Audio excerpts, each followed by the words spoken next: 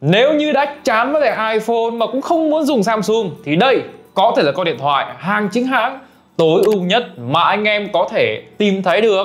Xiaomi 14 phiên bản thương mại chính thức tại thị trường Việt Nam. Trong video ngày hôm nay thì chúng ta sẽ cùng nhau đánh giá trên tay và chia sẻ những cái góc nhìn của mình về con Xiaomi 14 này nhá. Thực ra thì có rất nhiều kênh đã lên sản phẩm này rồi. Tuy nhiên thì mỗi kênh sẽ một góc độ và anh em cũng sẽ có những cái ý riêng, đấy, rút ra được những ý kiến riêng để có thể là quyết định là có nên mua hay không. Rồi, không để các bạn đợi lâu nữa chúng ta sẽ cùng nhau đi vào với nội dung chính trong video ngày hôm nay. Và trước khi bắt đầu video này á, anh em nào quan tâm về Xiaomi 14 với mức giá ngon nhất thì hãy tham khảo ngay tại cửa hàng Cellphone nhé. Và hiện tại ở Cellphone thì anh em có thể trừ qua và mức giá sau cùng khoảng tầm 18 triệu 9. Ngoài ra anh em có thể thanh toán ad member hoặc thanh toán một vài các dịch vụ QR thì nó còn giảm giá tốt hơn nữa. Và từ link ở ngay bên dưới. Còn bây giờ thì đến với nội dung chính trong video ngày hôm nay.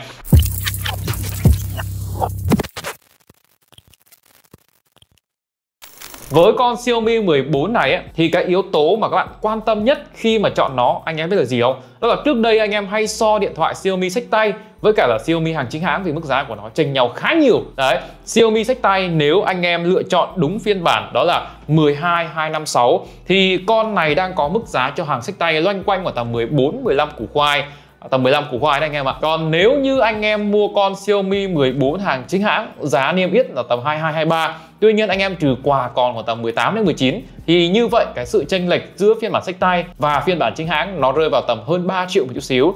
Và cái yếu tố bây giờ là 3 triệu đấy có xứng đáng cho một đập hộp một chiếc máy hàng chính hãng hay không? Thì câu trả lời của mình là có và hoàn toàn có nha các bạn. À, lý do thứ nhất là với chiếc máy hàng chính hãng này này chúng ta sẽ có đầy đủ ROM tiếng Việt không cần quan tâm đến vấn đề trễ thông báo không cần quan tâm đến cái vấn đề là unlock, cập nhật cái phiên bản ROM quốc tế, vân vân.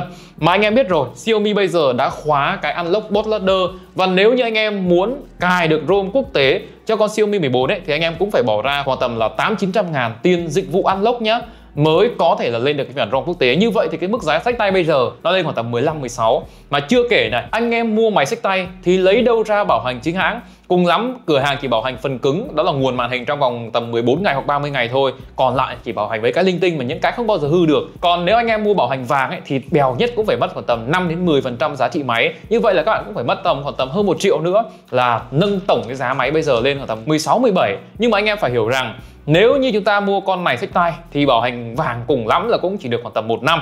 Nhưng mà con này khi anh em mua hàng chính hãng, ngoài trừ cái việc là đầy đủ ROM tiếng Việt, thông báo không bao giờ bị trễ ra, thì nó còn được bảo hành tận là 2 năm. Và anh em đọc kỹ cái phần điều khoản bảo hành của Xiaomi nhé cái này rất quan trọng này. Trong 6 tháng đầu, các bạn sẽ được thay màn hình miễn phí, không giới hạn số lần. Tức là trong tháng 6 tháng đầu mà chúng ta xui xui đi, hỏng màn hình, sọc màn hình các kiểu ấy thì thay màn hình pre luôn, hoặc thậm chí là những cái lỗi liên quan đến người sử dụng ấy, Xiaomi cũng bảo hành cho ta cái màn hình này. Nó quá ăn chơi. Những con điện thoại bình thường bây giờ chỉ bảo hành một năm thôi là căng rồi. Hoặc cùng lắm là 13 tháng 18 tháng. Con này nó là hai năm đó anh em ạ. Rồi, như vậy là giữa cái việc phân vân hàng sách tay và hàng chính hãng, các bạn đã biết là chúng ta nên lựa chọn máy nào rồi. À, chênh lệch nhau chỉ khoảng tầm có ba củ khoai hơn. Anh em có một chiếc máy phần mềm ok hơn này. Đấy rồi à, chúng ta cũng sẽ có một chiếc máy bảo hành tốt hơn. Thì tội gì đúng không? Còn bây giờ này hãy nói kỹ hơn về con Xiaomi 14 và những cái điểm mà mình đã tìm hiểu, trải nghiệm trong những ngày qua. Thực ra thì với con Xiaomi 14 này, mình không có dùng nó quá nhiều mà mình để cho bạn content bên mình cầm trải nghiệm là chính. Thì cái yếu tố mà mình thích nhất ở trên con Xiaomi 14 này, đó chính là về cái thiết kế của nó anh em ạ. Nếu mà nói chính xác về phần thiết kế thì mình thích thiết kế của Xiaomi 13 hơn, nhưng mà lên thế hệ 14 này thì có vẻ như là nó đã cải lùi một chút xíu. Ở trên thế hệ Xiaomi 13 nhìn nó đơn giản, nhìn nó cân đối, nhìn nó đẹp hơn. Nhưng mà lên thế hệ Xiaomi 14 ấy, thì nó vẫn gọn, nó vẫn đẹp nhưng mà nó chưa được cân đối cho lắm. Vì cụm camera của con Xiaomi 14 nó làm hơi dày nha tại vì nó được nâng cấp hơn rất nhiều so với hệ 13 trước đây. Tại vì Xiaomi 13 cái camera của nó bị cắt gọt khá là nhiều so với bản Pro. Còn ở trên Xiaomi 14 ấy, thì nó không bị cắt gọt quá nhiều so với bản Pro. Có chăng nó chỉ mất cái chỉnh khẩu thôi. Còn lại về cam chính, cam tele hay là cái cam góc rộng, nó đều tương tự như nhau. Chúng ta vẫn có một cái chất lượng phần cứng rất tốt ở trên sản phẩm này. Còn nói đến cái về phần mặt lưng ấy, thì với con Xiaomi 14 phiên bản chính hãng, hình như mình có kiểm tra là có hai, ba phiên bản màu gì đấy thì phải. Nói chung á, cái phiên bản màu mình đang cầm, đó là cái phiên màu xanh. Thì phiên bản màu xanh này nó khá là đẹp, nó kiểu xanh ngọc bích anh em. Nếu anh em nào hợp với cái màu này thì đây là một trong những con điện thoại hàng chính hãng duy nhất có cái màu này anh em nhé.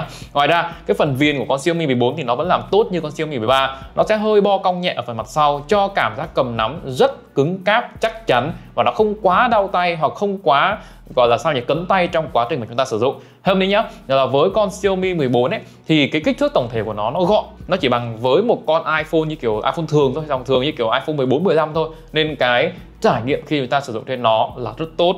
Còn về các vị trí phím bấm ấy, thì ở trên con Xiaomi 14 anh em vẫn có một cái vị trí phím bấm rất quen thuộc như ở trên Xiaomi 13 phím nguồn tăng giảm âm lượng đặt ở một cái vị trí hợp lý. Phím tăng giảm âm lượng chúng ta ít dùng so với phím nguồn, nên là nếu chúng ta cần thì chúng ta sẽ hơi với tay ra một chút xíu nha. Còn về cái cổng sạc thì các bạn sẽ có cổng sạc Type C, khay sim nó sẽ nằm ở ngay bên dưới. Và một trong những cái điều mà mình thấy Xiaomi đã làm hơi sai rất là nhiều lần, đó chính là về cái vị trí mic và cũng như là cái cái cái sim ấy thì nó để hơi gần nhau và nên là nhiều khi anh em hay chọc nhầm. Nhưng mà không ảnh hưởng nha. Còn về phần loa thì các bạn vẫn sẽ có loa ở đây, sẽ là loa kép. Và loa kép lần này thì nó không có Hackman hay là không có JBL gì hết nha các bạn. Một điều khi anh em nhìn qua cái video review của mình, thì anh em sẽ thấy rằng là Xiaomi 14 nó mất đi điều khiển hồng ngoại và đây là tính năng mà nhiều anh em rất thích đúng không? Nhưng không nha, Xiaomi 14 vẫn còn điều khiển hồng ngoại ở đây và cái điều khiển hồng ngoại thay vì đặt ở phía trên thì bây giờ Xiaomi đã tích hợp nó vào trong cái cụm camera này. Nói chung ấy thì cái điều này mình thấy rằng là nó sẽ hơi bất tiện một chút khi mà chúng ta mới đầu làm quen. Đấy, tại chúng ta phải chỉ ở camera về cái phía vật chúng ta cần điều khiển.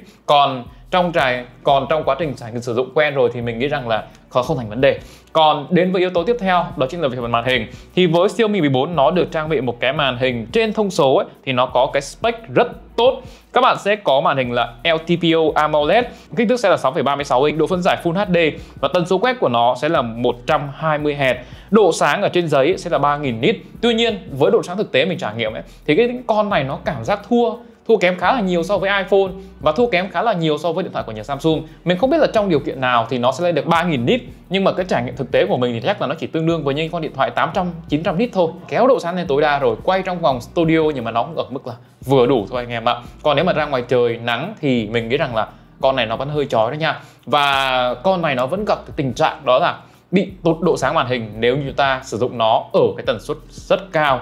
Và đến với một điều tiếp theo nữa, đó là viên màn hình của trên con siêu 14 rất là mỏng. Anh em nào mà kiểu thích mỏng tràn đều bốn cạnh ấy, thì con này thậm chí nó còn mỏng hơn cả iPhone 15 rất là nhiều. Còn Yếu tố tiếp theo, đó chính là về cái phần mềm ở bên trong thì tất cả những con điện thoại Xiaomi 14 ở ờ, bán ra thị trường quốc tế thì nó đã đều chạy cái phiên bản Hyper OS rồi. Và mình thấy rằng là với cái phiên bản Hyper OS này thì nó sẽ ngon hơn so với MIUI rất là nhiều. Tại vì ở trên MIUI mình sử dụng một vài cái con máy của nhà Xiaomi ấy, nó vẫn còn tình trạng là chế thông báo nhất định. Nhưng ở trên Hyper ấy, thì điều này gần như là không còn. Trong quá trình sử dụng rất ngon lành và hầu như mình chưa bao giờ bị trễ thông báo so với những con điện thoại Android quốc tế khác. Điều này nó là một cái điều rất là ngon. Tại vì anh em đã sử dụng máy nội địa, anh em đã bị trễ thông báo quá mệt mỏi rồi thì qua cái phiên bản quốc tế này nó sẽ làm tốt ở cái điều này.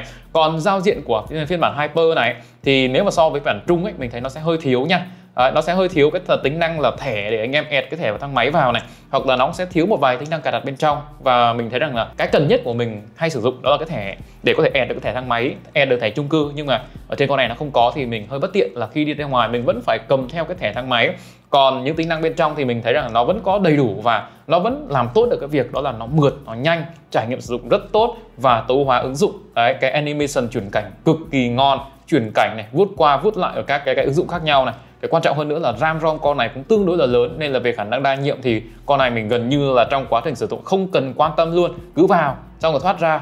Đấy một lát nữa quay trở lại thì nó vẫn còn ở nguyên ở đấy còn bây giờ mình sẽ đến với cái phần hiệu năng. Thì em này sẽ được trang bị con chip Snapdragon 8 Gen 3 dĩ nhiên rồi và con chip Snapdragon 8 Gen 3 ở trên chiếc máy này thì nó sẽ đi kèm với 12 GB RAM cũng như là 256 GB bộ nhớ trong. Một điều mà mình phải thành thật chia sẻ với các bạn đó là con chip Snapdragon 8 Gen 3 ở trên con Xiaomi 14 nó không mấy mát mẻ. Cái nhiệt độ mình trải nghiệm thông thường ấy nó sẽ rơi vào tầm là 43 đến 46 độ. Khi mà mình trải nghiệm những tựa game có cái đồ họa cao cao một tí như kiểu PUBG hoặc là game Impact còn nếu như dùng hàng ngày ấy, thì nó cũng chỉ là hơi ấm lên nhẹ mà thôi. Cái đau đầu nhất là khi mà mang ra ngoài trời thì cái máy nó nóng lên rất là nhanh. Đây là điều mà gần như là chiếc máy nào nó cũng sẽ gặp trong quá trình mà sử dụng. Nói chung á con này nếu mà để anh em combat các tựa game đi thì mình đã có test thử nhẹ các tựa game PUBG này test thử nhẹ tựa game Genshin Impact này. Thì đây là cái biểu đồ mà anh em có thể xem qua. Tổng kết là về cái phần hiệu năng anh em sẽ có một chiếc máy rất là mạnh. Đấy, Xiaomi tối hóa hiệu năng đó ngon. Nhưng mà về phần nhiệt độ thì mình thấy là nó chưa được ổn cho lắm. Vì chiếc máy nhỏ gọn quá kích thước của cái phần làm mát nó sẽ không được to nên là anh em nếu mà sử dụng con này thì hãy lưu ý là chúng ta nên lắp một con sò lạnh vào để có thể chiến được những tựa game FPS cao và chúng ta có một cái trải nghiệm duy trì duy trì nhiệt độ khi mình chơi game tốt hơn. Còn một điều tiếp theo mà mình muốn chia sẻ nhiều hơn ở trên con Xiaomi 14 đó chính là về phần camera. Đồng ý với các bạn, Xiaomi năm nay trang bị hệ thống camera chất lượng rất tốt và nếu như ta so con này với Samsung đi thì mình thấy nó làm tốt hơn Samsung rất nhiều.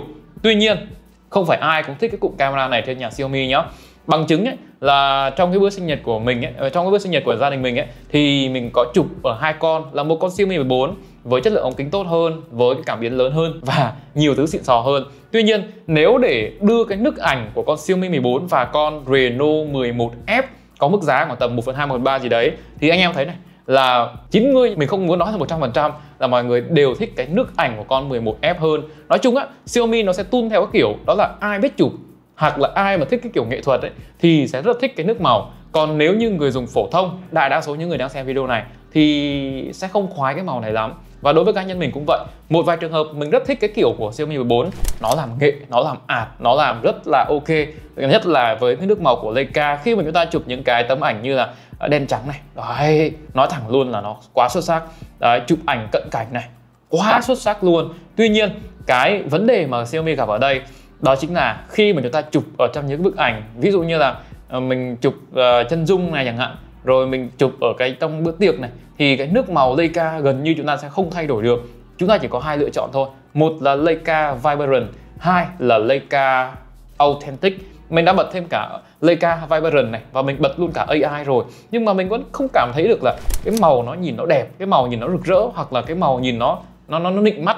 Đấy, nếu như mà những người dùng phổ thông bình thường ấy thì họ sẽ thích cái kiểu làm ở trên Oppo, Vivo hay là cái kiểu làm ở trên Samsung hơn.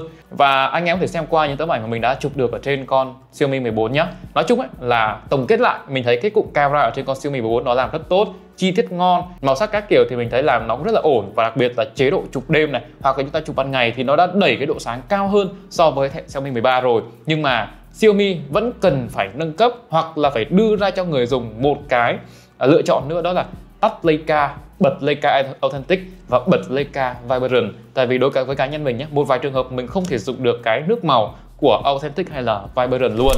Cam góc rộng cam selfie các kiểu thì anh em cùng xem. Nói chung là con này năm nay camera nếu đưa vào tay những người biết chụp ấy thì đỉnh phết đấy. Chứ còn nếu mà anh em sử dụng bình thường thôi thì mình thấy nó cũng không phải gọi là quá xuất sắc lắm còn về khả năng quay video thì em này sẽ có khả năng quay video ở độ phân giải tối đa. Anh em có thể xem được trên video đã thấy này, đó là 4K 60 fps ở trên cái con 14 của mình. Còn nếu anh em muốn quay 8K thì em này cũng quay được luôn Nhưng mà chỉ dừng lại ở mức là 24 frame mà thôi.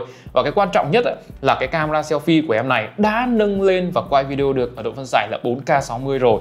Ngon hơn rất nhiều so với một vài dòng điện thoại tàu. Và sẵn đây thì mình nói về chất lượng camera selfie luôn. Camera selfie ở trên con Xiaomi 14 này mình đánh giá khá là tốt.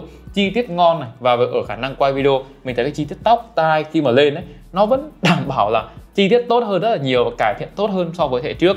Nói chung á, về phần camera thì mình đánh giá con này được khoảng tầm là 9 điểm trên thang điểm 10 còn về pin ấy, mặc dù trên thông số con này chỉ có viên pin, đó là 4610 mAh nhưng mà với viên pin này thì mình thấy nó được tấu hóa ngon bởi cái Hyper và nó được tối hóa ngon bởi nhà Xiaomi rồi. Con máy pin 4600 mà mình cứ tưởng tượng là mình đang dùng con máy khoảng tầm trên 5000 thời gian sử dụng để mà chơi game nhé mình test luôn với tựa game uh, liên quân. Thì con này có thể chơi game một tiếng chỉ mất 12% pin thôi. Như vậy là tổng thời gian mà chơi game liên quân nó sẽ rơi vào khoảng tầm đâu đó trên 7 tiếng. Còn nếu mà sử dụng bình thường thì con này phải tầm là từ 8 đến hơn 9 tiếng cơ. Nói chung là quá đủ với trải nghiệm sử dụng của mình. Còn về tốc độ sạc ấy thì con này sẽ được trang bị công nghệ sạc là 90W nó không phải là nhanh như kiểu 120W nhưng nó nhanh hơn gấp 3 lần iPhone đó các bạn ạ. Thời gian sạc đầy con máy này nó chỉ rơi vào tầm 30 phút. Trong khi đó nếu mà mình sạc đầy một con Pro Max ấy, thì nó phải mất đâu đó khoảng tầm 1 tiếng 40 phút máy ra mới đầy. Rồi còn lại thì với chiếc máy này nó sẽ được trang bị sạc không dây trang bị sạc ngược các kiểu. Và đương nhiên là trên dòng Xiaomi 14 thì nó vẫn trang bị cái tiêu chuẩn là kháng nước IP68 có thể là một vài anh em sẽ cần cái yếu tố này. Nói chung á, là với con Xiaomi 14 này thì nó sẽ dành cho những anh em nào mà chán iPhone mà không cần Samsung muốn có một cái lựa chọn mới hay ho nhiều cái để vọc. Và đặc biệt là cái camera của nó phải nghệ nghệ. Đó những ông trung tuổi một tí thì con Xiaomi 14 này nó khá hợp lý. Còn nếu anh em nào tập trung vào yếu tố là cày game này hoặc là cần cam chụp theo kiểu là nịnh thì cái con này nó vẫn làm chưa ổn lắm. Cá nhân mình thì mình vẫn chờ đợi con à, Vivo X100 Pro về chính hãng hoặc là X100 Ultra. Ok, anh em nghĩ sao về 14? Đừng quên comment nhé. Còn đường link mua hàng của con Xiaomi 14 này thì mình sẽ để ngay phần mô tả và bình luận. Nói chung là giá bây giờ đã ngon rồi anh em ạ.